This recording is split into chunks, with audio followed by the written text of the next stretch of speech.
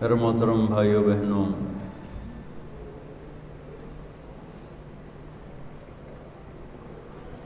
اس دنیا کی اصل اندھیرا ہے روشنی نہیں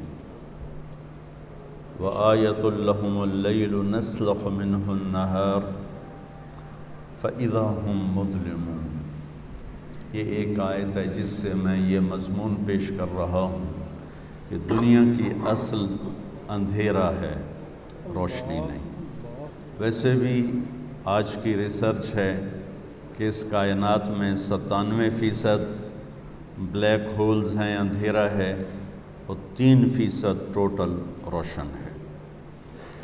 تو روشنی کو اللہ لاتا ہے۔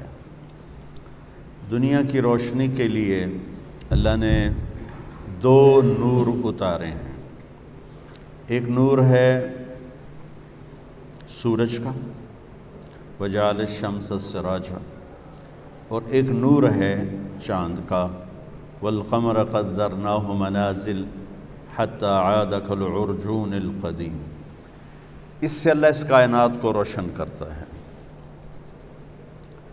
اسی طرح انسان کی کائنات بھی اندھیرا ہے۔ اس کی اصل بھی اندھیرا ہے۔ واللہ جہالت اندھیرا ایک چیز کا نام ہے۔ ظلم، جہالت اندھیرا ایک چیز کا نام ہے۔ تو میرے رب، ہمارے بارے میں فرماتے ہیں، واللہ اخرجکم من بطون امہاتکم لا تعلمون شیئا. اللہ نے تمہیں ماں کے پیٹ سے نکالا۔ تم لوگ کچھ بھی نہیں جانتے تھے۔ تو کچھ نہ جاننا اندھیرا ہے، جہالت ہے، ظلم ہے۔ ظلم بھی اندھیرے کو ہی کہتے ہیں۔ اندھیرے میں کچھ پتہ نہیں چلتا، صحیح اور غلط۔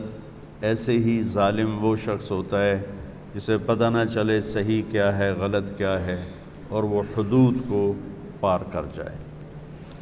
تو انسانیت کے اندھیرے کے لیے آپ حیران ہوں گے، باقی کائنات بہت پڑھی لکھی پیدا ہوتی ہے۔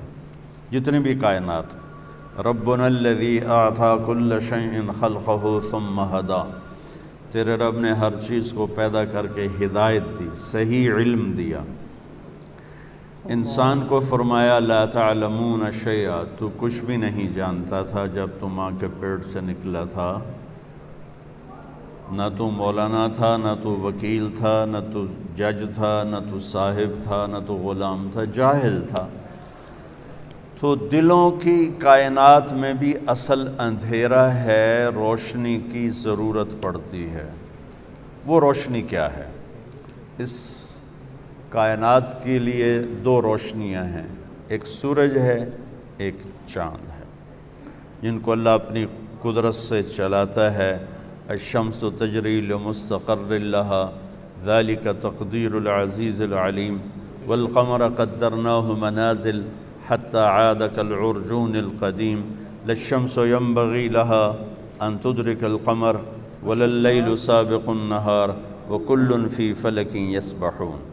الشمس والقمر دائبين ہے الشمس والقمر والنجوم مسخرات بأمر کہتا ہے وجعلنا سراجا وهاجا کہتا ہے، یہ قرآن مختلف آیات میں اللہ کی بادشاہی کا نظام کا پتہ بتلاتا ہے کہ اس دنیا کے اندھیروں کو دور کرنے کے لیے اللہ نے کیا نظام چلایا؟ ایک سورج کا، ایک چاند کا بے خطا نظام۔ ان میں کبھی کوئی خلل واقع نہیں ہوتا کہ یم سے کچھ سماوات والارض ان تزولا۔ کہ ان کو مضبوطی سے تھاما ہوا ہے۔ میرے اللہ نے یہ ایک انچ کے برابر آگے پیچھے نہیں ہو سکتے۔ ایک چھوٹی سی مثال دیتا ہوں۔ سورج کی رفتار ہے نو لاکھ کلومیٹر فی گھنٹہ۔ زمین کی رفتار ہے چوبیس ہزار کلومیٹر فی گھنٹہ۔ اور سورج زمین سے بارہ لاکھ گنا بڑا ہے۔ اور وہ گیسز کا مجموعہ ہے، اس میں کوئی ٹھوس چیز نہیں گیسز ہیں، سب گیسز اور اس میں ایک سیکنڈ میں جب ہیلیم گیس کنورٹ ہوتی ہے ہائیڈروجن گیس میں، تو دھماکہ ہوتا ہے۔ ہر سیکنڈ میں یہ دھماکے ہو رہے ہیں۔ اور یہ ایک دھماکہ جو چوبیس گھنٹوں کے آپ منٹ بنائیں، پھر ان کے سیکنڈ بنائیں، تو چوبیس گھنٹوں کے، ہر منٹ کے، ہر سیکنڈ میں سورج میں ہیلیم کنورٹ ہوتی ہے آکسی ہائیڈروجن میں دھماکہ ہوتا ہے۔ وہ دھماکہ پچاس کروڑ ایٹم بم کی پاور کے برابر ہوتا ہے۔ پچاس کروڑ ایٹم بم کی پاور کے وہ برابر ہوتا ہے۔ اور میرے رب نے اس کو اس طرح سنبھال کے چلایا ہوا ہے کہ ایک سینٹی میٹر نہ ادھر ہوتا ہے نہ ادھر ہوتا ہے۔ دل کے اندھیروں کو دور کرنے کے لیے بھی تو کوئی روشنی اللہ نے بھیجی ہوگی نا۔ چونکہ اللہ تعالیٰ کہہ رہا ہے اللہ تعلمون یا تم جاہل تھے۔ تو جہالت کو دور کرنے کے لیے کون سے سورج اور چاند ہیں؟ تو وہ ایک نور ہے قرآن کا اور ایک نور ہے محمد مصطفیٰ کا۔ اللہ تعالیٰ فرماتے ہیں، قد جاءکم من اللہ نور و کتاب مبین۔ تمہارے پاس ایک نور آ رہا ہے اور اس کے ساتھ ایک کتاب ہے۔ پھر اللہ کتاب کو کہتا ہے وَاتَّبْعُ النُّورَ الَّذِي أُنزِلَ مَعَاهُ تو اللہ تعالیٰ اپنی کتاب میں قرآن کو بھی نور کہتا ہے اور اپنے محبوب کو بھی نور فرماتا ہے۔ تو دل کے اندھیروں کو دور کرنے کے لیے دو نور آئے، دو روشنیاں آئیں۔ جو ان سے محروم ہوا، وہ اصل جاہل ہے، وہ اصل ظالم ہے۔ جس، جب تک اس کو نہیں پہچانیں گے، میں فلسفہ حسین کیا بیان کروں؟ ہم تو الف با نہیں جانتے، تو میں وہ سین سواد کیسے بیان کروں؟ کہ ہم تو ابھی اپنے نبی سے غافل ہیں، اپنے قرآن سے غافل ہیں، آپ سب اہل قانون بیٹھے ہیں اور ستر سال سے انگریز کا قانون فیصلے سنا رہا ہے۔ بھلا کبھی انسانی قانون بھی انسانوں کو انصاف دیتا ہے۔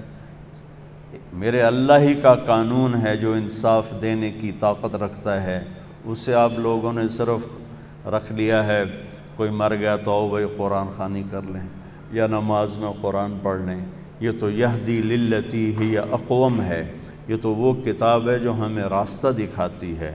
اور میرے نبی کا فرمان ہے فَيَذَلْ تَبَسَتْ عَلِيكُمُ الْأُمُورِ فَقِطَعَ اللَّيْلِ الْمُظْلِمِ فَعَلَيْكُمْ بِالْقُرْآنِ فَإِنَّهُ مَاحِلٌ مُصَدَّقٌ وَشَافِعٌ مُشَفَّعٌ. مَنْ جَعَلَهُ أَمَامَهُ قَادَهُ إِلَى الْجَنَّةِ وَمَنْ جَعَلَهُ خَلْفَهُ سَاقَهُ إِلَى النَّارِ. طَاهَ مَا أَنزَلْنَا عَلَيْكَ الْقُرْآنَ لِتَشْقَى إِلَّا تَذْكِرَةً لِمَنْ يَخْشَى. تنزيل ممن خلق الأرض والسماوات العلا. الرحمن على العرش استوى.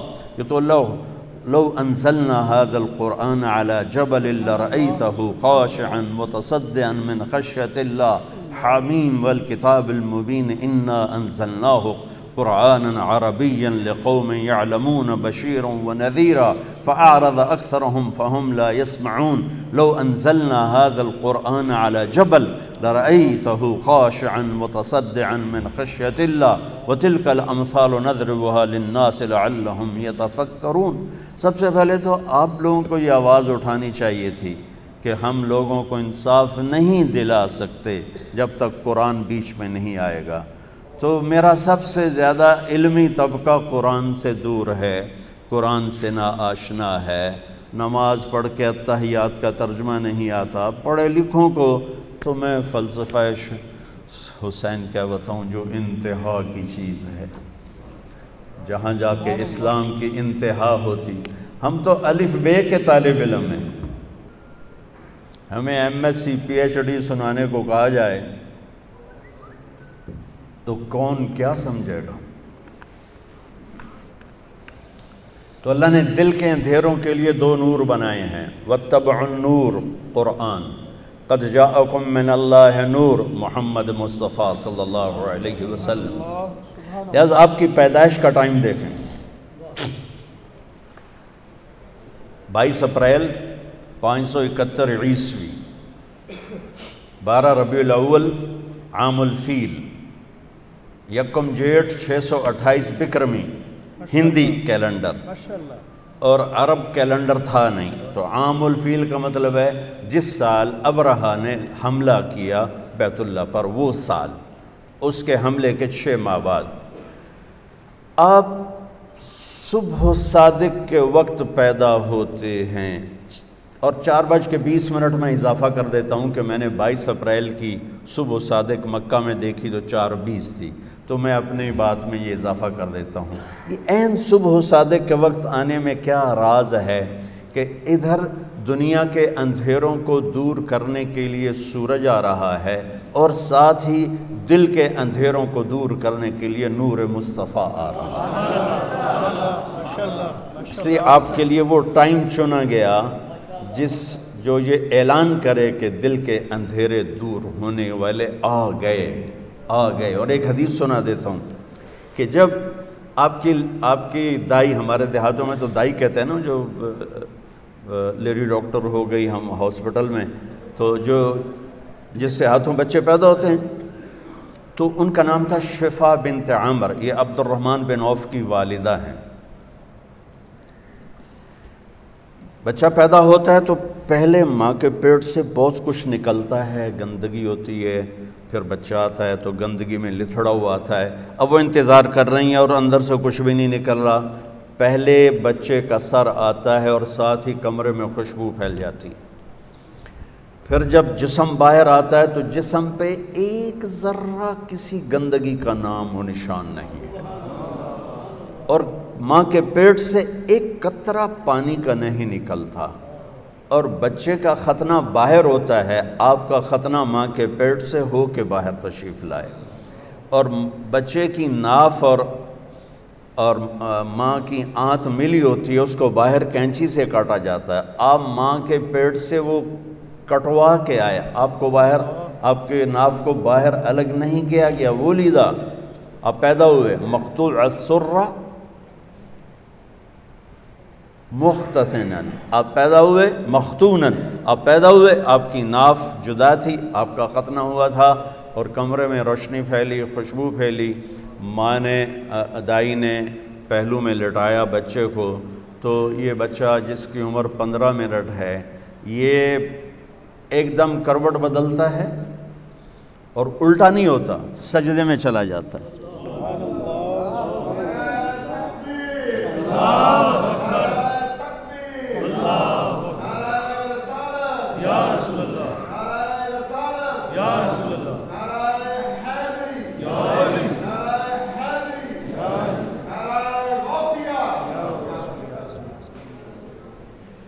یہ بچہ سجدہ کر کے سارے وکیلوں کو پیغام دیتا ہے، وکالت کرتے رہنا، نماز نہ چھوڑنا۔ سارے ڈاکٹروں کو پیغام دیتا ہے، تاجروں کو ذمہ داروں کو، بادشاہوں کو پیغام دیتا ہے، نماز نہ چھوڑنا۔ جبھی تو میرے نبی کے نواسے نے تلوار کی دھار کے نیچے سجدہ نہیں چھوڑا۔ یہ فلسفہ شہادت ہے کہ سر تو کٹ سکتا ہے، سجدہ نہیں چھوٹ سکتا۔ اب چھوٹی چھوٹی فائلوں کے پیچھے نمازیں چھوڑیں گے۔ کل جب آپ اپنی فائل خود اٹھائیں گے اللہ کے دربار میں، وَكُلَّ إِنسَانٍ نَلْزَمْنَاهُ طَائِرَهُ فِي عُنُقِهِ وَنُخْرِجُ لَهُ يَوْمَ الْقِيَامَةِ كِتَابًا يَلْقَاهُ مَنْشُورًا اقرأ كتابك، كفى بنفسك اليوم عليك حسيبا، من اهتدى فإنما يهتدي لنفسه ومن ضل فإنما يضل عليها ولا تزر وازرة وزر أخرى فما كنا معذبين حتى نبعث رسولا. وہ کیا؟ آج تو آپ میری فائل اٹھا کے جا رہے ہیں، آپ کے موکل آ رہے ہیں، آپ ان کی فائلیں پڑھ رہے ہیں۔ کل آپ اپنی فائل اٹھا چکے ہوں گے اور وہ فائل آپ کے ہاتھ میں نہیں ہوگی۔ اللہ تعالیٰ کہتا ہے، چاہے وہ مولانا ہو، علامہ ہو یا وہ وکیل ہو یا وہ جج ہو، گردن میں لٹکا دوں گا فائل۔ اور پھر ایک ایک ورق الٹا کے کہوں گا اقرا کتابک پڑھ. یہاں تو کھڑا ہے مظلوم کے لیے پڑھ. یہاں تو کھڑا ہے ظالم کے لیے اسے پڑھو. یہاں تم کھڑے ہو شرابی کو بچانے کے لیے اسے پڑھو. یہاں تم کھڑے ہو قبضہ مافیا کو بچانے کے لیے تمہیں آج کا دن یاد نہیں تھا؟ تمہیں فلسفہ شہادت حسین یاد نہیں تھا کہ اللہ کو پانے کے لیے نسل بھی ذبح ہو جائے تو سستا سودا ہے؟ پیسوں کی قربانی کیا چیز ہے؟ چوپلی روٹی کی قربانی کیا چیز ہے؟ اگر میرا اللہ مجھے ملتا ہے اور میں میں اللہ کو پا لیتا ہوں، تو میں ہارا ہوا نہیں ہوں، میں جیتا ہوا ہوں۔ اگر میں اللہ کو کھو دیتا ہوں، اگر میں اللہ کو ناراض کر دیتا ہوں، تو رب ذوالجلال کی قسم، میں جیتا ہوا نہیں، میں ہارا ہوا ہوں۔ ابن آدم اطلبنی تجدنی فإن وجدتنی وجدت كل شيء وإن فتنی فاتك كل شيء وأنا خیر لك من كل شيء. آدم کی أولاد وکیل بن یا زمیندار بن یا تو دکاندار بن یا تو بادشاہ بن صرف مجھے راضی کرنے کے لیے اپنی طاقت لگا۔ اگر تو نے مجھے راضی کر لیا تو تو نے سب کچھ پا لیا۔ اگر تو نے مجھے ناراض کیا تو نے سب کچھ کھو دیا۔ اور سن لے میں ملا تو تمہیں سب کچھ ملا اور میں نہ ملا تمہیں کچھ نہ ملا۔ میرے نبی کے نواسے نے سب کچھ کھو دیا لیکن اللہ کو پا لیا۔ یزید نے سب کچھ پا لیا، پر اللہ کو کھو دیا۔ کس پہ لانت برس رہی ہے؟ میں ہاتھ جوڑ کے معافی مانگتا ہوں۔ ہم روتے ہیں حسین کے لیے اور کھڑے ہیں یزید کی صف میں۔ ہم روتے ہیں علمدار کے لیے، عباس کے لیے، اور کھڑے ہیں ہم شمر کی صف میں۔ ہمارے ساتھ اللہ کا معاملہ کیسے صحیح ہوگا؟ ہماری تلواریں بھی شمر والی تلواریں ہیں۔ ہماری زبانیں بھی یزید والی ہماری آنکھ کا آنسو ادھر جاتا ہے اور ہم ووٹ دیتے ہیں یزید کو، ووٹ دیتے ہیں شمر کو، ووٹ دیتے ہیں۔ ہم ان نافرمان کو جو زمین پر بوجھ ہیں، جو اس زمین جن سے زمین بھی پناہ مانگتی ہے۔ ووٹ دینے کا مطلب وہ سیاسی نہیں، زندگی کا طرز، کہ ہمارا طرز زندگی سریحن میرے نبی میرے نبی کے نواسے کے پیغام کے خلاف ہے۔ میں کہاں کہاں پھمبا رکھوں؟ عمر گزر گئی پھرتے پھرتے۔ کہاں سے آنسو لاؤں؟ کہاں سے فریادیں لاؤں؟ کہاں سے نوحے لاؤں جو دل کے دروازوں پر دستک دے سکیں؟ جو میری فریاد کو پہنچا سکیں؟ کہ پہلے اللہ کو ڈھونڈو، جس سے بڑی آشنائی تھی۔ تم یا اللہ کہتے تھے، اللہ کا عرش کام اٹھتا تھا۔ تم یا اللہ کہتے تھے آسمان سے فرشتوں کی قطاریں اتر آتی تھی سبحان اللہ۔ لیکن بس وہ بھول کبھی ہم بھی تم میں بھی چاہ تھی کبھی ہم بھی تم میں بھی راہ تھی کبھی ہم بھی تم بھی تھے آشنا تمہیں یاد ہو کہ نہ یاد ہو۔ میرا نبی نے سجدہ کیا اور لمبا سجدہ کیا اور ڈر گئی والدہ بھی اور دایا بھی۔ یہ کیا؟ یہ بچہ کیا کر رہا ہے؟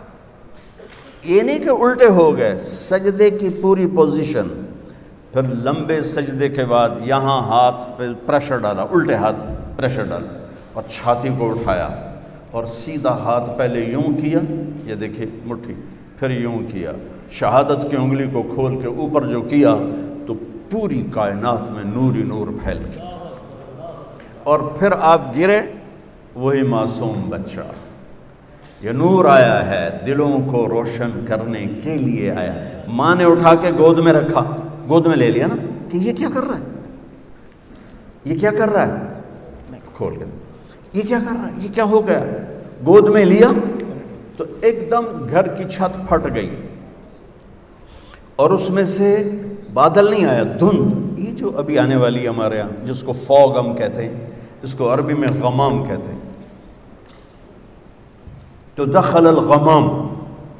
دھند آئی اور سارا کمرہ بھر گیا اور بچہ نظر نہیں آ رہا۔ اتنی گہری ہو گئی۔ اس کے اندر سے آواز آئی۔ توفو بھی مشارق الارض و مغاربہا۔ اس بچے کو مشرق، مغرب پھرا دو۔ لیعرفو بسم ہی و نعت ہی و صورت ہی اور پوری دنیا کے انسانوں کو بتا دو۔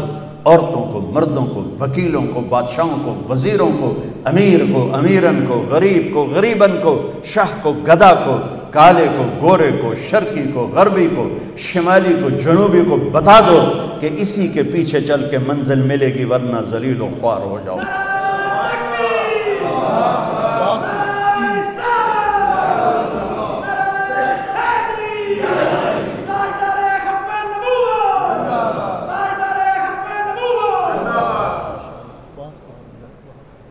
بتاؤ ساری کائنات کو، ان وکیلوں کو بھی بتاؤ، ان بادشاہوں کو بھی بتاؤ، ان ذمہ داروں کو بتاؤ، دیہاتی شہری کو بتاؤ۔ یہ ہیں جن کے لیے کائنات بنی۔ یہ ہیں۔ ایک حدیث یاد آ گئی، کائنات بنی سے۔ آدم علیہ السلام کا اللہ نے نکاح کیا جنت میں اماں جی کے ساتھ ہوا تو کہا، آدم مہر ادا کرو۔ اپنی بیگم کا مہر ادا کرو۔ تو وہ کہنے لگے، یا اللہ، کیا ادا کروں؟ پھر صاحب کیا ادا کروں؟ تو فرمایا، تیری نسل میں میرا حبیب آئے گا، اس پہ ایک درود پڑھ دے۔ ایک درود اس پہ پڑھ دے، یہ تیرا مہر ہے۔ آپ کی تو آمد سے پہلے اعلان ہوئے جا رہے ہیں اور نکارے بج رہے ہیں اور اس سے بھی عجب حدیث سنا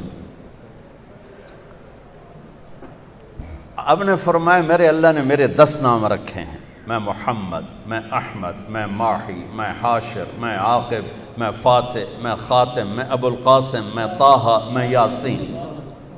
آخری لفظ بولو، یاسین۔ بولے نا۔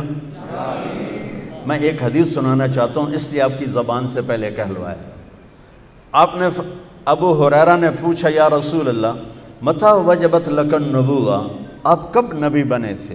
تو جواب ہے، چالیس سال کی عمر۔ اور کتابی جواب آپ کو معلومات کے لیے اضافی میں کہہ دیتا ہوں۔ چالیس سال، چھ مہینے، دس دن، پیر کی رات، اکیس رمضان۔ میرے نبی کو نبوت کا تاج پہنایا گیا۔ تاج تو پہلے ہی پہنا گیا تھا، ظہور ہوا۔ تو یہ کتابی جواب ہے، یہ چالیس سال چھ ماہ دس دن ہیں، جنوری، فروری کے نہیں، محرم سفر کے ہیں۔ تو جواب تھا ابو حریرہ چالیس سال کی عمر پر جواب دیا کیا۔ آپ نے فرمایا، ابو حریرہ کنت نبی وین آدم بین الروح والجسد۔ ابھی آدم کی مٹی کٹھی نہیں ہوئی تھی اور میرے سر پہ نبوت کا تاج سج گیا تھا۔ میں نبی بن گیا۔ اب اب حدیث سنیں۔ میرے نبی نے فرمایا کہ میرے اللہ نے پیدائش کائنات سے ہزار سال پہلے، اور پیدائش کائنات کو سائنسدان کہتے ہیں بگ بینگ جو تھا کوئی پچیس سے تیس ارب سال پہلے دھماکے سے کائنات بنی۔ ہم بھی اسی کو لے لیتے ہیں، چونکہ ہمارے پاس کوئی اور ایسی دلیل کوئی نہیں، نہ اس کا انکار کرنے کی، نہ اس کا اقرار کرنے کی۔ تو تیس ارب سال سے ہزار سال پہلے جب صرف اللہ تھا هل حل عطا الانسان حین من الدعر لم یکن شیئا مذکورا اور اولم یر الذین کفروا ان السماوات والارض کانتا رتقا ففتقناهما وجعلنا من الماء كل شيء حي افلا یؤمنون اللہ تعالیٰ ان دو آیت میں آیات میں بتا رہا ہے کہ ایک زمانہ تجھ پر ایسا تھا، تو کچھ نہیں تھا، زیرو تھا، اور ایک زمانہ کائنات پہ ایسا تھا کہ یہ زیرو تھی۔ عرش نہیں، فرش نہیں، لوح نہیں، قلم نہیں، کرسی نہیں، جبریل نہیں مکیل نہیں، اسرائیل نہیں، اسرافیل نہیں ہے، آسمان نہیں ہے، زمین نہیں ہے، چاند نہیں، سورج نہیں، ستارے نہیں، سیارے نہیں، پانی نہیں، آگ نہیں، ہوا نہیں، پتھر نہیں، پہاڑ نہیں لوہا نہیں تانبا نہیں، پیتل نہیں، سمندر نہیں، دریا نہیں ہے، اور میرا اللہ اکیلا ہے، هو اللہ الذی لا إله إلا هو عالم الغيب والشهادة هو الرحمن الرحيم. أكيلا مرا الله هو الله الذي لا إله إلا هو الملك القدوس السلام المؤمن المهيمن العزيز الجبار المتكبر الخالق البارئ المصور الغفار القهار الوهاب الرزاق الفتاح العليم القابض الباسط الخافض الرافع المعز المذل السميع البصير الحكم العدل اللطيف الخبير الحليم العظيم الغفور الشكور العلي الكبير الحسيب الجليل الكريم الرقيب المجيب الواسع. المجيد الباعث الشهيد الحق الوكيل القوي المتين الولي الحميد المحصي المبدل المعيد المحيي المميت الواجد الماجد الواحد الأحد الصمد القادر المقتدر المقدم المؤخر الأول الآخر الظاهر الباطن الوالي المتعال البر التواب المنتقم العفو الرؤوف مالك الملك ذو الجلال والإكرام المقسط الجامع الغني المغني المانع الضار النافع النور الهادي البديع الباقي، الوارث الرشید الصبور جل جلالہ یہ اکیلا اللہ موجود ہے۔ کچھ نہیں، اللہ ہی اللہ ہے۔ تو اللہ اللہ، میرے نبی نے فرمایا، میرے اللہ نے، غور سے سنی میرے اللہ نے پیدائش کائنات سے ایک ہزار سال پہلے سورہ یاسین کی تلاوت فرمائی۔ میرے نبی کا ایک نام کیا ہے؟ میرے اللہ نے یاسین کی تلاوت کر کے کہا، یاسین والقرآن الحکیم۔ یاسین، مجھے قسم ہے قرآن حکیم کی۔ انک لمن المرسلین، آپ میرے رسول ہیں۔ کوئی سامنے ہے؟ کوئی سامنے ہے؟ کوئی سامنے وجود ہے جسے کہا جا رہا ہے؟ آپ۔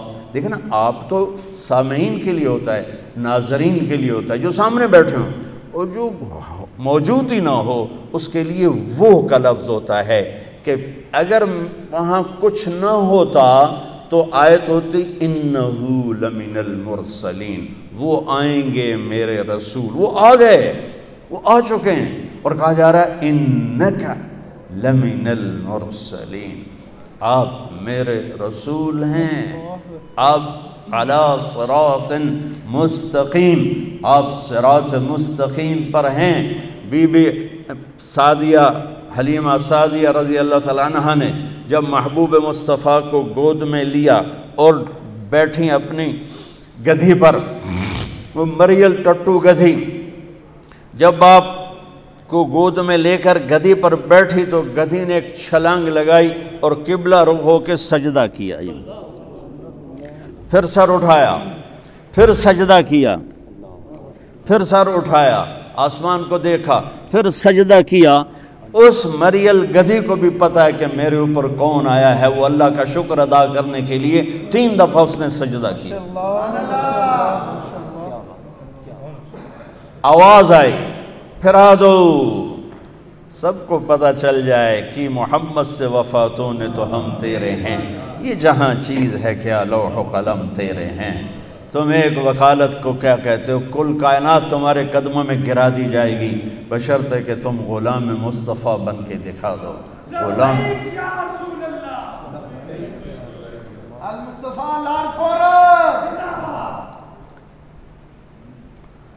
ہاں پھر آواز آئی۔ اگلی سنیں۔ وہ اس سے بھی عجیب ہے۔ اور اس کو آدم کے اخلاق دو۔ ابھی بچے کی عمر آدھا گھنٹہ ہے۔ شیش کی معرفت دو۔ نوح کی شجاعت دو۔ ابراہیم کی دوستی دو۔ اسماعیل کی قربانی دو۔ اسحاق کی رضا دو۔ یعقوب کی بشارت دو۔ یوسف کا حسن و جمال دو۔ موسیٰ کا جاہ و جلال دو۔ یوشا کا جہاد دو۔ دانیال کی محبت دو۔ الیاس کا وقار دو صالح کی فصاحت دو لوت کی حکمت دو ایوب کا دل دو داود کی شیری زبان دو یونس کی اطاعت دو یحییٰ کی پاک دامنی دو عیسیٰ کا زہد دو و اغمسوہ فی اخلاق النبیین۔ اور تمام انبیاء کو جو دیا ہے اس بچے کے سینے میں اتار دو۔ آدھے گھنٹے میں سوا لاکھ نبیوں کا علم اور پھر اس کے بعد علم کی پرواز۔ اتنی بڑی ہستی کے پیغام ٹھکرا کر ہم کیسے کنارے لگ سکتے؟ کون سا وکیل ہے جو کہتا ہے، سچ بولو گے تو مقدمہ جیتو گے، سچ بولیں گے تو مقدمہ جیتیں گے۔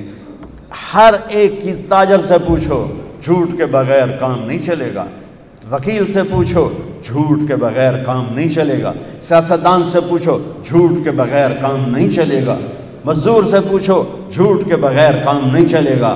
مستری سے پوچھو، مزدور کے، جھوٹ کے بغیر کام نہیں چلے گا۔ اور میرا نبی کہتا ہے، الصدق ینجی والکذب یہلک۔ سچ نجات دیتا ہے اور جھوٹ ہلاک کر دیتا ہے۔ میرے نبی کی سیرت کا نچوڑ بتا رہا ہوں، جس قوم میں ظلم ہوگا۔ جس قوم میں جھوٹ ہوگا، جس قوم میں دھوکہ ہوگا، اسے ذلت، پستی کے سوا کچھ نہیں ملے گا۔ جس قوم میں انصاف ہوگا، جس قوم میں سچائی ہوگی، جس قوم میں دیانت داری ہوگی، اللہ ہمیشہ ان کے سر پہ عزت کے تاج سجا کے رکھے گا۔ چاہے وہ اللہ کے منکر بھی ہوں گے، تو موت تک اللہ انہیں ضرور عزت دے گا۔ سچائی میرے نبی پیغام لے کر آئے۔ ہم کتنی بڑی ہستی کے علم کو ٹھکراتے انسان دیکھتا ہے آنکھوں سے۔ آگے مجھے نہیں پتا پچھو کون کھلوتے ہیں۔ اور سجے کھبے والے میں نہیں پتہ لگ رہا کون ہے، جو کہ میں فوکس کی تو ہے سامنے۔ میرے نبی نے سلام پھیرا اور فرمایا، کیا ہوا لوگوں کو؟ مجھ سے پہلے رکوع میں چلے جاتے ہیں، مجھ سے پہلے سجدے میں چلے جاتے ہیں۔ میں جیسے آگے دیکھتا ہوں، ایسے پیچھے بھی دیکھتا ہوں۔ اور یہ دیکھنا تو بہت چھوٹا سا ہے۔ میرے نبی نماز میں مسلح پر کھڑے۔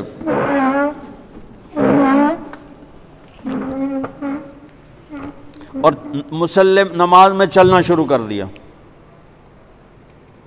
نماز میں چل رہے۔ آگے آگے آگے وہ تارا ہی نہ پلے یہاں آ گئے۔ یہاں کہاں؟ دیوار کے پاس۔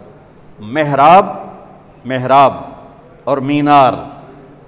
یہ حضرت عمر بن عبدالعزیز نے متعارف کروایا، ان سے پہلے مسجد کی محراب اور مینار نہیں تھا۔ مینار خوبصورت اضافہ ہے، محراب خوبصورت اضافہ ہے۔ یہ عمر بن عبدالعزیز جن کو پانچواں خلیفہ راشد کہا جاتا ہے، یہ انہوں نے کروایا۔ تو آپ دیوار کے ساتھ کھڑے ہو گئے۔ اور تلاوت چل رہی، نماز ہو رہی۔ تھوڑی دیر کے بعد آپ نے یوں ہٹنا شروع کیا۔ ہٹتے ہٹتے ہٹتے ہٹتے ہٹتے ہٹتے۔ آ کر مسلح کے کنارے پر کھڑے ہو گئے۔ اب پہلی دوسری صف والوں کو تو پتہ چل گیا کہ اللہ کے نبی چلے ہیں، پچھلوں کو نہیں پتہ چل تو جب آپ نے سلام پھیرا تو یہ کہنے کہ یا رسول اللہ، یہ کیا؟ ہم نے تو کبھی آپ کو ایسا کرتے نہیں دیکھا۔ تو آپ نے فرمایا، میں نماز پڑھ رہا تھا تو مجھے جنت نظر آئی۔ اللہ۔ میں کہوں گا، میں نماز پڑھ رہا تھا مجھے چھت نظر آئی، اس تو تو میں دیکھ نہیں سکتا میرا نبی کہہ رہا ہے کہ میں نماز پڑھ رہا تھا، مجھے جنت کہاں ہے؟ کہاں بیس کرتی ہے؟ ساتویں آسمان پر بیس کرتی ہے۔ اور اس کی جا کے پھر چھت لگ جاتی ہے اللہ کے عرش کے ساتھ۔ جو جنت الفردوس ہے، وہ عرش کے ساتھ ہے۔ اور میرے نبی فرما رہے ہیں، مجھے جنت نظر آئی اور اس کے انگوروں کے گچھے، اس کی دیواروں سے باہر لٹکے ہوئے نظر آئے۔ تو میں آگے ان کو دیکھتے دیکھتے دیکھتے آگے بڑھ گیا۔ اس نظر والے کو ہم چھوڑ دیں۔ پھر کہیں ہم عزت پائیں گے۔ واہ جی واہ۔ واہ جی واہ۔ ایسا بھی کبھی ہوا ہے؟ عزتیں تو در مصطفیٰ سے ملیں گی اور کہیں سے نہیں ملیں چاہے چاہے نسل قربان ہو، چاہے مال قربان ہو، ملے گی یہیں سے۔ قربانیوں سے یہ راستہ طے ہوتا ہے۔ یہ روٹی چوپڑی بے شک کھاؤ لیکن میرے اللہ اس کے رسول کا دامن نہ چھوڑو ورنہ اللہ کی قسم دو ٹکے کے نہیں رہیں گے اللہ کی بارگاہ۔ کہا یا رسول اللہ پیچھے کیوں ہٹے؟ کہا پھر اللہ پھر میں نے جہنم دیکھی تو اس کے شعلے دیکھے تو اس کی وجہ سے میں ڈر کے پیچھے ہٹنا شروع ہو گیا۔ اب جہنم بھی اوپر ہے کہیں۔ اور جنت کو تو میرے نبی نے بتا دیا، ساتویں آسمان پر ہے۔ جہنم کو فکس کر کے نہیں بتایا کہ کس آسمان پر ہے پر ہے جس ہستی کی نظر ایسی طاقتور ہو۔ ہم اس کو چیلنج کریں گے۔ تو پھر کہاں سے؟ اللہ کو کہاں سے پائیں گے؟ اللہ کہاں سے ملے گا؟ اللہ نے قسم اٹھائی قرآن کی پہلی قسم۔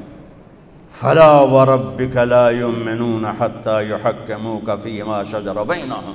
سبحان اللہ. قرآن کی آخری قسم، والعصر ان الانسان لفی خسر. قرآن نے قسمیں اٹھائی ہیں. یہ پہلی قسم ہے، سورہ نساء. اور سب سے خوبصورت قسم ہے کہ آپ ذرا انداز دیکھنا. قسم اٹھانے والا خود ہے، لیکن لگے گا یوں کہ قسم اٹھانے والا کوئی اور ہے اور خود کوئی اور ہے۔ کہتا فلا وربک، میرے محبوب، مجھے آپ کے رب کی قسم۔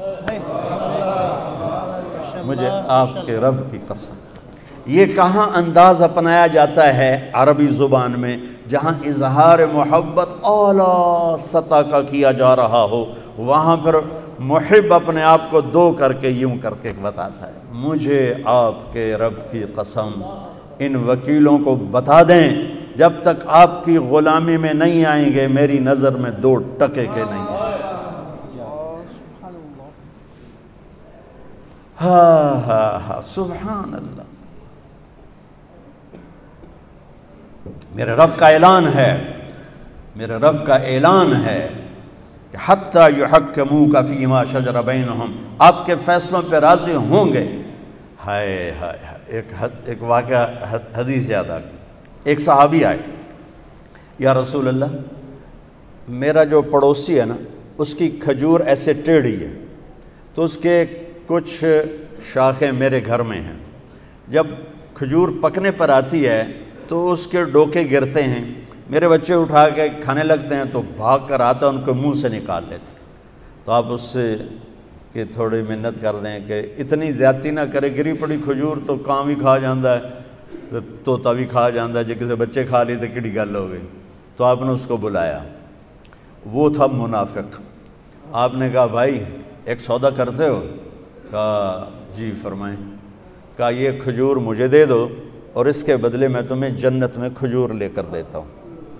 تو وہ کہنے لگا یا رسول اللہ اگر آپ کسی اور کھجور کا کہتے میں قربان کر دیتا، اصل میں یہ میرے بیوی کو، بچوں کو بہت پسند ہے، میں معافی چاہتا ہوں، میں یہ نہیں دے سکتا ہوں۔ وہ تو بڑوا منافق آئی، اس سے گل کرنی آئی۔ وہاں ایک جان نثار بھی بیٹھے ان کا نام ہے ابو داہ داہ کہتے، یا رسول اللہ، میں لے دوں تو سودا کر دو اگر وہ کھجور میں آپ کو لے کے دے دوں تو مجھ سے آپ سودا کرتے ہیں؟ کہنے کہ ہاں تیرے نال کر رہا ہوں۔ تو وہ پہنچ گئے اس کے پیچھے۔ کہنے لگے، میاں کھجور ویچنی ہے ہی کہا، جا جا، میں اللہ دے نبی نے نہیں دیتی، تینوں کی تو دے اسا کہا، میاں، تو منہ ہوتا کچھ بول، کوئی قیمت تلا اسا کہا، میں ویچنی ہی نہیں۔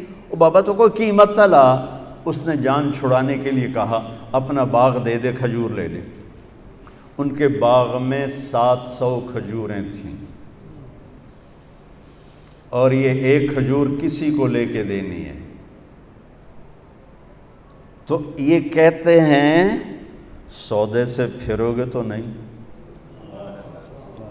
ملازہ فرمائے سات سو کھجوریں دے رہا ہے اپنی اور ایک کھجور لے کے کسی کو دے رہا ہے اور کہہ رہا ہے سودے سے پھرو گے تو نہیں۔ وہ کہنے لگا، میں کوئی کملا تو پھرے تو پھرے، میں کیوں پھرا میرے تو پنجے گئے تو سر کڑائی۔ اسے کیا ڈن، ہو گیا۔ اور دوڑ لگائی۔ یا رسول اللہ، یا رسول اللہ، میں نے سودا کر دیا، میں نے سودا کر دیا۔ آپ نے فرمایا، کیا کیا؟ کیسے کیا؟ اسے تو مجھے بھی نہیں دی۔ کہ یا رسول اللہ، میرا باغ تھا سات سو کھجوروں والا، وہ میں نے اس کو دے دیا، کھجور میں نے لے لی۔ تو آپ نے کہا، میرا بھی سودا کینسل، پہلے ایک کھجور تھی۔ نہیں نہیں نہیں نہیں۔ میں آنکھوں سے دیکھ رہا ہوں، تیرے لیے کھجوروں کے باغ جنت میں لگ گئے اور تیرے لیے محل کے محل تیار ہو گئے۔ کم من عزق ردا ودار فیا لے ابی ابو الداحدہ مبارک ہو۔ تیرے رب نے اس سودے پر تیرے لیے جنت میں باغات لگا دیے اور تیرے لیے گھر آپ بنا دیے۔ او وہاں سے دوڑ لگائی۔ کھجوروں کا زمانہ تھا۔ اور انصار شفٹ ہو جاتے تھے اپنے باغوں میں پھل کی حفاظت کے لیے۔ تو ان کی بیگم بچوں سمیت شفٹ ہو گئی تھیں باغ میں۔ تو اندر باؤنڈری وال کے اندر نہیں گئے، باہر کھڑے ہو گئے۔ کہیں نیت نہ پھسل جائے۔ باہر سے نعرہ لگایا۔ ام الدہدہ۔ دہدا کی ماں کہا جی کہ بچے لے کر باہر آ جاؤ۔ خیریت کیا ہوا؟ کہ ہم نے سودا کر دیا۔ باغ کا سودا کر دیا۔ کہ کیا سودا کیا ہے؟ کہ اللہ کے نبی کے ہاتھوں کیا ہے۔ یہ باغ دے دیا ہے اور اللہ کے نبی سے جنت میں لے لیا ہے۔ تو وہ کہتی، بچے کہ تو کا سنتے میں کہ تو کا سنتے تو ایک ساڑھو تے مصیبت پا چھڑی۔ وہ کہنے کہ رب حل بے، رب حل بے۔ مبارک ہو میرے میاں، مبارک ہو۔ بڑا کھرا سودا کر کے آ رہے ہو۔ بڑی اعلیٰ تجارت کر کے آ رہے ہو۔ فلا وربك لا يؤمنون حتى يحكموك فيما شجر بينهم ثم لا يجدوا في أنفسهم حرجا مما قضيت ويسلموا تسليما. سر جھکانا پڑے گا، کٹانا پڑا تو کٹانا پڑے گا، چھوڑنا پڑا تو چھوڑنا پڑے گا۔ اللہ اس کے رسول کو پانے کے بعد ہر مصیبت آسان ہے، ہر نقصان نفع ہے۔ نفع بھی نفع ہے، نقصان بھی نفع ہے۔ حسین کو جان بچانے کے لیے ایک بول کی ضرورت تھی، ایک بول، صرف ایک بول، صرف ایک بول۔ اور یہ کون سی ہستی ذبح ہوئی ہے جسے میرے نبی نے سر سے لے کر پاؤں تک اپنے بوسوں سے منور کیا ہو؟ جب ابن زیاد چھڑی مار رہا تھا، کٹے ہوئے سر کے پر اور ایک چھڑی آ کے لگی ہونٹوں پر، پھر اس نے دوسری ماری۔ وہ لگی پھر اس نے تیسری ماری۔ تو حضرت ابو برزہ اسلمی کھڑے ہو گئے اور رونے لگے اور کہا، کم وقت یہ چھڑی یہاں سے ہٹا۔ میں نے یہاں نبی کے ہونٹوں کو لگتے ہوئے دیکھا ہوا ہے۔ تو میرے بھائی بہنوں، فلسفہ یہ ہے کہ اللہ پہ، اللہ کو پانے کے لیے جتنی بڑی قربانی دینی پڑے، دے جاؤ۔ اس سے بڑا خاندان کوئی نہیں ہے۔ اس سے بڑی نسل کوئی نہیں ہے۔ میرے نبی نے فرمایا، میں پہلے خاندان بتاؤں، خاندان کیا ہے؟ میرے نبی نے فرمایا، ان اللہ تخیر القبائل. اللہ نے ساری آدم کی نسل کو ڈھونڈ، دیکھا۔ ف فختار العرب۔ اللہ نے اس میں سے عربوں کو چھانٹ چھانٹا۔ ثم تخیر العرب۔ پھر عربوں کی چھانٹی کی۔ فختار مدر پھر اس میں سے مدر کو چھانٹا۔ ثم تخیر مدر پھر مدر ایک آپ کے پردادوں میں ہے۔ اس کی اولاد کو چھانٹا اور اس میں سے قریش کو نکالا۔ ثم تخیر قریش، پھر قریش کی چھانٹی کی اور اس میں سے ہاشم کو نکالا۔ ثم تخیر ہاشم، پھر ہاشم کی نسل کو چھانٹا۔ فختارانی پھر اللہ نے میرا انتخاب کیا۔ انا خیرکم ابم و نفسا، مجھ سے عالی خاندان کوئی نہیں، مجھ سے عالی نصب کوئی نہیں ہے۔ سب سے اعلیٰ نصب، سب سے عالی خاندان، لقد جاءکم رسول من انفسکم، لقد جاءکم رسول من انفسکم۔ اس کو دونوں طرح پڑھا جا سکتا ہے۔ من انفسکم، تم میں پیدا ہوا۔ تمہارے اندر ایسا کوئی خاندان بتاؤ، ایسی نجابت، شرافت بتاؤ۔ اور باپ سے لے کر آدم تک میرے نبی نے فرمایا، میرے باپ سے لے کر آدم تک کسی کے دامن پہ بدکاری کا چھینٹا نہیں ہے۔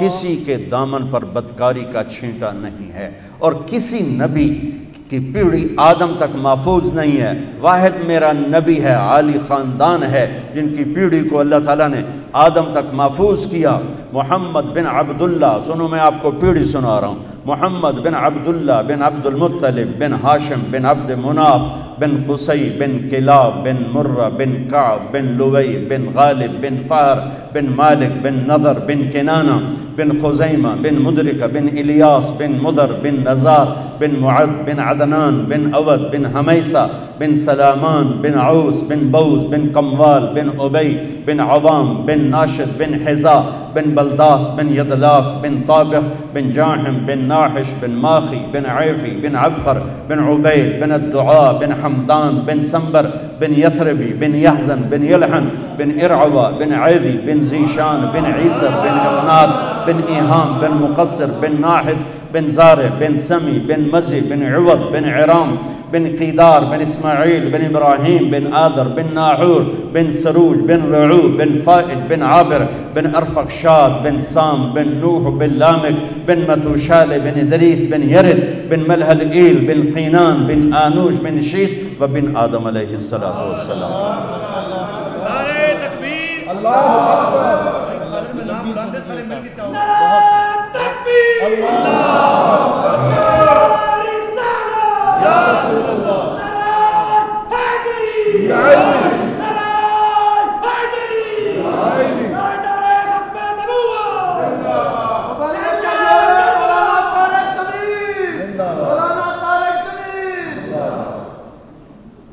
باقی نعرے سارے ٹھیک ہیں میرا نہ لگاؤ۔ میں نے تو مر ہی جانا ہے زندہ کہاں رہنا؟ مر جانے والے کے کیا زندہ باد؟ جو نہیں مانے گا سب پکڑے جائیں گے۔ یہ اتنا عالی خاندان ہے کہ اللہ نے ان کی نسل کو محفوظ فرمایا آدم تک۔ سبحان اللہ ہر امتی کے اندر اللہ رسول کا کیا عشق ہے؟ میں گھوٹکی میں بیان کر رہا تھا تو گھوٹکی کے ساتھ کچا علاقہ ہے جہاں سارے ڈاکو رہتے ہیں۔ وہاں پولیس بھی نہیں جاتی۔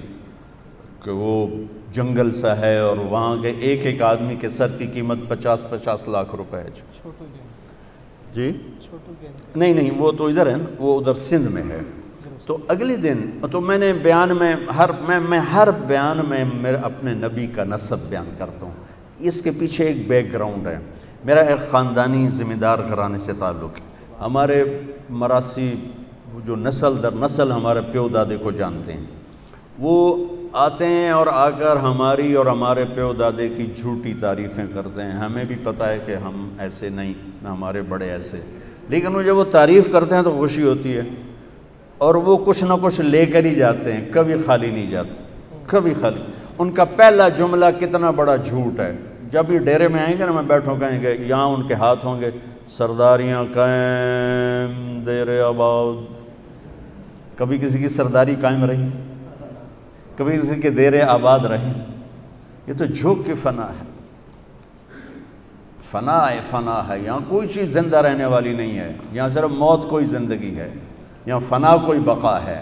اجل ہی نے چھوڑا، نہ کسرا، نہ دارا، اسی سے سکندر صفات بہارا، ہر ایک لے کے کیا کیا نہ حسرت سے دھارا پڑا رہ گیا سب یوں ہی ٹھاٹ سارا، جگہ جی لگانے کی دنیا نہیں ہے، یہ عبرت کی جا ہے، تماشا نہیں ہے، ملے خاک میں اہل شاں کیسے کیسے، مٹے نامیوں کے نشاں کیسے کیسے، ہوئے نامور بے نشاں کیسے کیسے۔ جگہ دی لگانے کی دنیا نہیں ہے، یہ عبرت کی جا ہے، تماشا نہیں ہے۔ ان کا پہلا جملہ ہی ہوتا سرداریاں قائم۔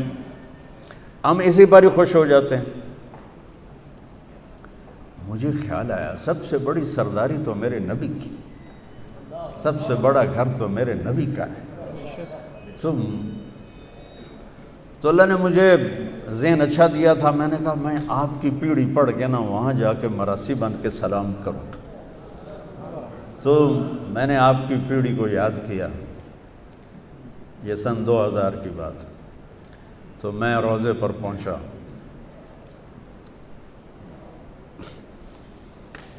میں نے کہا، یا رسول اللہ، ہم چھوٹے سے ذمہ دار ہیں، چھوٹے سے ہمارے باپ دادے سردار تھے۔ ان کی جھوٹی تعریفیں ہوتی تھیں مراسی کرتے تھے۔ اب ہماری کرتے ہیں۔ تو ہم سے کچھ نہ کچھ ضرور لے کر جاتے ہیں۔ اللہ کے بعد آپ سے بڑا سردار کوئی نہیں، اور آپ سے بڑا گھرانہ کوئی نہیں۔ میں چاہتا ہوں میں آپ کا مراسی بن جاؤں، آپ کا ڈوم بن جاؤں، بھنڈ بن جاؤں، نٹ بن جاؤں، پیرنا بن جاؤں، جتنے ان کے وہ کاسٹوں کے نام ہیں، میر عالم بن جاؤں۔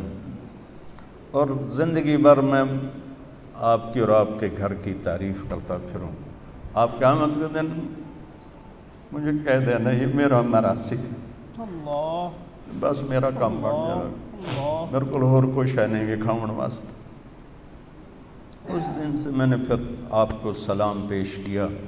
السلاۃ والسلام علیکہ یا رسول اللہ بن عبداللہ بن عبد المطلب بن ہاشم بن عبد مناف بن قصی بن قلعہ بن مرہ بن کا سارا پڑھ کے میں کہا اب میں ہاتھ تھا اٹھا نہیں سکتا جو پولیس کھلوتی آئی۔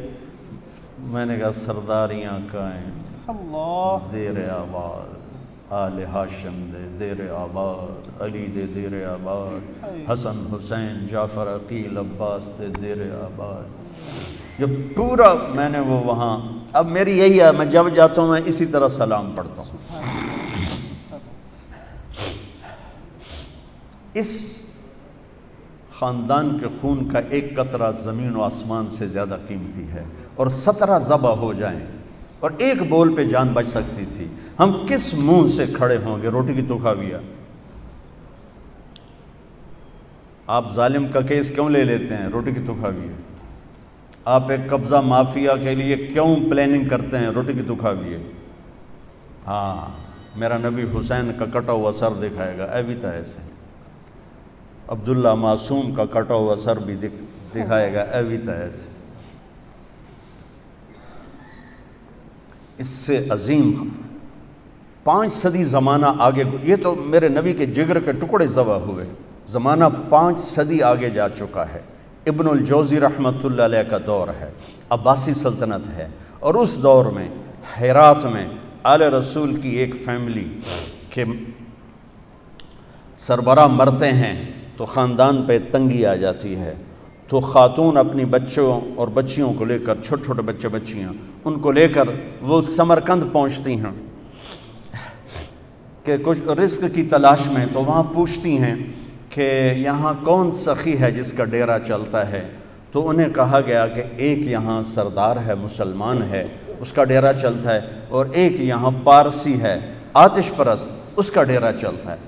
تو انہوں نے بچیوں کو ایک سرائے میں بٹھایا اور اب آ گئی مسلمان سردار کے پاس کہ میں آل رسول ہوں اور میں فقیر ہوں، مجھے پناہ چاہیے۔ وہ کہنے لگے، تیرے پاس کوئی لکھا ہوا ہے؟ نصب نامہ ہوتا ہے نا۔ وہ کہنے لگی میں پردیسن ہوں، میں نصب نامے کہاں اٹھا کے پھر رہا ہوں تو وہ کہنے لگا، یہاں تو ہر دوسرا بندہ آدھا میں بھی میں بھی میں بھی سیدہ، میں بھی شاہ جی ہوں تو وہ وہاں سے مایوس ہو کر گئی پارسی کے پاس۔ اور اس سے کہا، میں آل رسول ہوں اور ساری وہ کہانی دہرائی۔ تو اس نے اسی وقت اپنی بیوی کو ساتھ لیا اور سرائے پہنچا، بچیوں کو لیا اور گھر میں آ کے کھانا کھلایا۔ سمر کا ٹھنڈا علاقہ، سردی کا زمانہ تھا، ان کا آگ جلا کر کمرہ گرم کر کے لٹھا دیا، سلا دیا۔ رات کو یہ مسلمان سردار خواب دیکھتا ہے، اللہ کے نبی جنت میں ایک محل کے دروازے پر کھڑے ہیں۔ محل سونے اور چاندی کا ہے۔ اور یہ سردار آ کر کہتا ہے یا رسول اللہ یہ محل کس کا ہے؟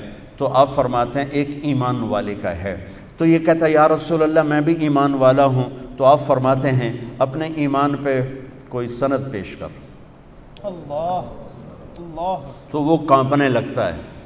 تو آپ غضب ناب ہو غضب ناب ہو کے فرماتے ہیں غضب ناک ہو کے کہ میری بیٹی تیرے در پہ آئی۔ پناہ ڈھونڈنے اور تو سند مانگنے لگا۔ دور ہو جا میری نظروں سے۔ اس کی آنکھ کھل گئی تو اس نے چیخیں ماری۔ اور پاگلوں کی طرح باہر نکلا، نوکروں کو جھنجھوڑا۔ پتہ کرو وہ عورت کہاں گئی ہے، پتہ کرو۔ انہوں نے، چھوٹا سا تو شہر ہوتا تھا، انہوں نے آ کے بتایا کہ وہ تو پارسی کے گھر میں ہیں۔ تو وہ ننگے پاؤں، ننگے سر بھاگا اور دھڑ دھڑ دھڑ دھڑ دروازہ جو کھڑکایا۔ وہ باہر نکلیا حضور، آپ یہاں کیسے؟ کہا، وہ خاتون اور اس کی بچیاں میرے حوالے کرو۔ کہا، حضور، میں کیسے حوالے کروں؟ میری مہمان ہیں۔ کہا، نہیں نہیں، تیری مہمان نہیں، میری ہیں۔ وہ مسلمان ہیں، تو پارسی ہے۔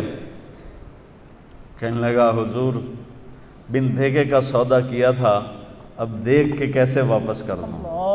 وہ کہنے لگا، تین سو دینار لے لو۔ اس سے تین سو دینار لے لو۔ ساٹھ لاکھ روپیہ بنتا ہے تین سو دینار۔ تین سو دینار لے لو اور وہ بچیاں واپس کر دو۔ کہا، میں میں کچھ عرض کروں کا بولو کہ جو خواب آپ دیکھ رہے تھے، وہ خواب میں بھی دیکھ رہا تھا۔ میں بھی دیکھ رہا، میں بھی وہیں کھڑا تھا۔ اور اللہ کے رسول نے غضب ناک ہو کے آپ سے کہا، دور ہو جا میری نظروں سے۔ تو پھر مجھے فرمایا، تو نے میری بچی کو پناہ دی۔ اللہ، تو نے میری بیٹی کو پناہ دی۔ کچھ جی، میں نے کجا تیرے اور تیری ساری نسل کے لیے جنت واجب ہوگی؟ تیری اولاد کے لیے جنت واجب ہوگی۔ کہ میں اب دیکھ چکا ہوں۔ یہ تو پانچ سو سال بعد کی نسل کے لیے میرے نبی کی بیداری ہے۔ محب کل سبب و نصب منقطع الا سببی و نصبی وسأب اللہا ببلالہا قیامت کے دن ہر نصب ٹوٹ جائے گا، کٹ جائے گا، مٹ جائے گا۔ میرا نصب باقی رہے گا، میں اسے پانی پلاؤں گا۔ میرے بھائیوں میری بہنوں، ہمیں، ہم بہت دور چلے گئے ہیں۔ ہم صرف پیسے کے غلام ہیں۔ ہم صرف چوپڑی کے غلام ہیں۔ میں ہاتھ جوڑتا ہوں۔ اس، آپ لوگ اس ملک کی بقا کا اولین سبب ہو اور اس ملک کی تباہی کا اولین سبب ہو۔ اگر میرے دیس کی عدالت وکیل جج ظالم ہے اور ظالم کا پشت پناہ ہے، تو وہاں کبھی کبھی کبھی کبھی کبھی صبح نہیں ہوگی، کبھی برسات نہیں برسے گی، کبھی رت نہیں بدلے گی۔ اگر آپ میرے ملک کی یہ سارے شور مچا رہے ہیں، معیشت معیشت معیشت معیشت نہیں، میرے نبی نے پیٹ پہ پتھر باندھ کے زندگی گزاری۔ دو دو پتھر۔ ایک رات آپ اماں عائشہ کے ساتھ بستر پر دراز ہیں، کبھی یوں ہو جاتے ہیں۔ کبھی یوں ہو جاتے ہیں، تڑپ رہے ہیں، کبھی ایسے ہوتے ہیں، کبھی ایسے ہوتے ہیں، بار بار ہوتے ہوتے پھر ایک دم آپ آگے بڑھے۔ پیٹ مبارک کو چارپائی کی لکڑی جس پر بان بنا ہوتا ہے، اس کے اوپر یوں پریس کر کے نیچے لٹک گئے ایسے، نیچے لٹک، ایسے ہو گئے ایسے۔ پیٹ کو پریشر سے نا اوپر اٹھایا، یوں پریس کیا۔ تو ہم عائشہ اٹھ کے بیٹھ گئیں کہ یا رسول اللہ، خیر تو ہے، کیوں؟ ایسا کیوں؟ آپ سیدھے ہوئے آشا بھوک بہت لگی بھوک بہت لگی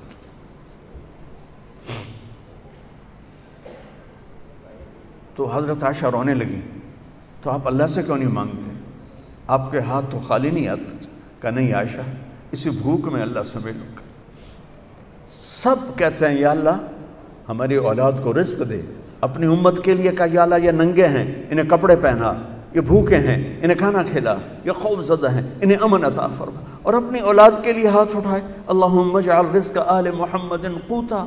اے اللہ، میری میری اولاد کی روزی تنگ کر دے، کہ کوئی مجھے تانا نہ دے سکے کہ آپ کی اولاد نے بادشاہی کی۔ اس لیے تو حکومت نہیں، اللہ نے آنے دی کہ قیامت تک قربانی کا جھنڈا ان کے دروازے پر لہراتا رہے۔ اور یہ قربانیاں دیتے رہیں چھری تو چلی تھی موسیٰ کے لیے، اللہ نے خطا کر دی۔ چھری چلی تھی اسماعیل کے لیے، اللہ نے خطا کر دی۔ یوں لگتا ہے جیسے چھری حسین کے لیے سنبھال کے رکھی گئی کہ جب حسین کا نمبر آیا تو کٹ کے گردن وہ گئی اور پیغام دیا کہ اللہ کو حاصل کرنے کے لیے ہر قربانی دی جا۔ یہ وہ نہیں ہے کہ شہید ہوں گے تو جنت ملے گی۔ یہ وہ ہیں جنہیں ماں کا دودھ پیتے ہوئے جنت کی سرداری مل چکی تھی۔ آپ حسن پیدا ہوئے۔ آپ نے کہا، علی، کیا نام رکھا ہے؟ کہا جی حرب۔ حضرت علی شاہ سوار تھے۔ انہوں نے اسی لحاظ سے نام رکھا، میدان کا شاہ سوار۔ جنگ جو، آپ کا نہیں، حسن۔ پھر حسین پیدا ہوئے۔ علی، کیا نام رکھا ہے؟ کہا جی حرب۔ کہا، نہیں نہیں، حسین۔ پھر فرمایا، جب سے کائنات چل رہی، جب سے آدم کی نسل چلی ہے، یہ دو نام اللہ نے میرے بچوں کے لیے سنبھال کے رکھے تھے۔ آج سے پہلے یہ نام کسی کو نہیں ملے، یہ میرے بچوں کے لیے تھے۔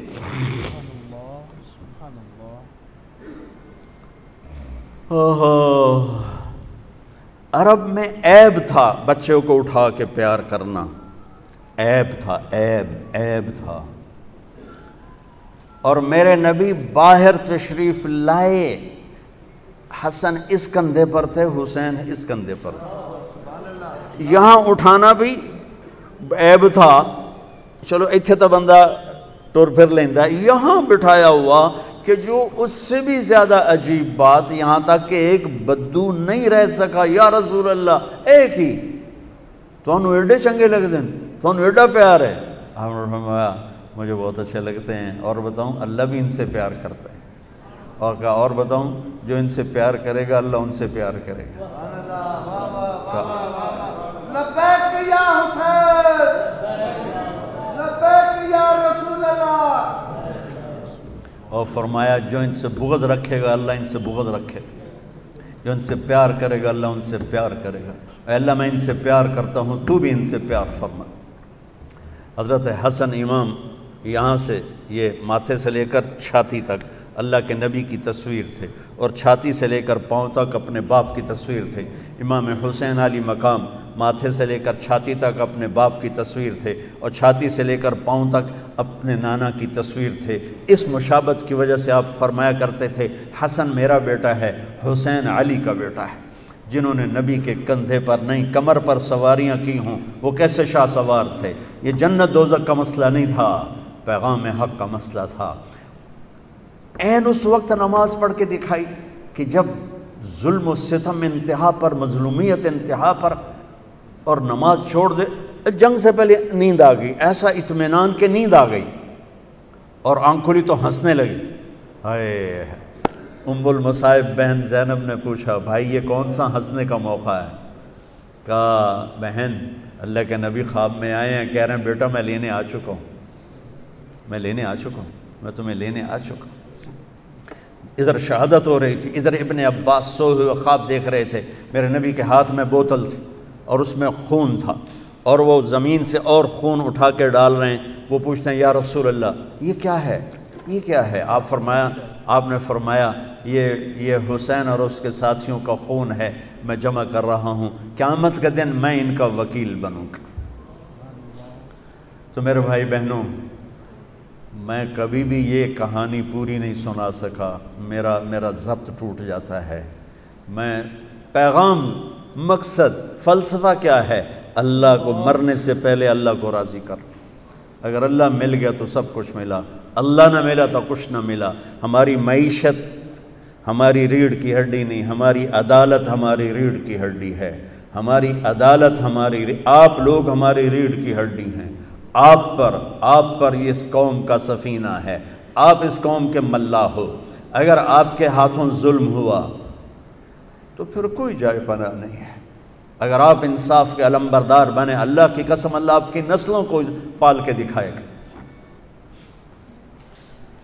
کہ رازق اوپر بیٹھا ہے، آنے والا موکل نہیں، آنے والا آدمی نہیں، اوپر بیٹھا ہوا ہے۔ جو ماں کے پیٹ میں ہوتے ہوئے رزق کا نظام جو اپنا آدم منو صلی علیہ الغذا و انت جنین فی بطن امک۔ میرے بندے اتنا تو بتا دے ماں کے پیٹ میں تجھے روٹی کس نے پہنچائی۔ تھی آج تو کہتا ہے یہ کیس نہ لیا تو میری تو روٹی بند ہو جائے گی۔